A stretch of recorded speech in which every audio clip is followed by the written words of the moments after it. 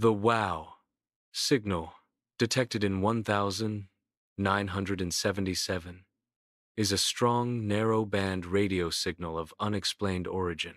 The signal's characteristics suggest a potential extraterrestrial source.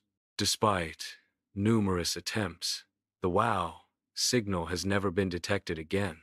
Scientists continue to analyze the signal's frequency, intensity, and duration to determine its origin. Fast radio bursts. FRBs are brief, intense radio emissions from distant galaxies. The origins of FRBs are currently unknown, with theories including magnetar activity.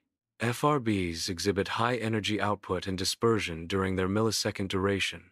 Ongoing research aims to pinpoint FRB sources and understand their emission mechanisms.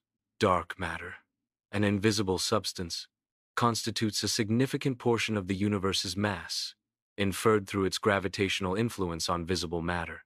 The composition of dark matter remains a mystery, with leading candidates including weakly interacting massive particles, WIMPs and axions.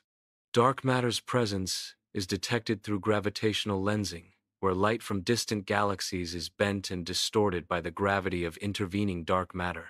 Galaxy rotation curves, which show stars at the outer edges of galaxies moving faster than expected, provide further evidence for dark matter.